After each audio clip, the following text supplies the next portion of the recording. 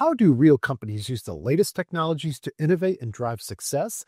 That's one question I asked yesterday at Schneider Electric's Innovation Summit, and I can tell you it's not by talking to your OT system like it's a smart speaker. Good call. And it's definitely not by beating on a drum, although that was cool.